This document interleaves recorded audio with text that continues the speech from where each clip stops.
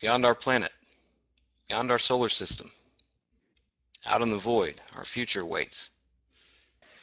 The writer Kurt Vonnegut said, out on the edge you see all kinds of things that you can't see from the center. Big undreamed of things. The people on the edge see them first. Help keep the dream of space and planetary exploration alive. Become a member. Join the ranks of the future. The Planetary Society.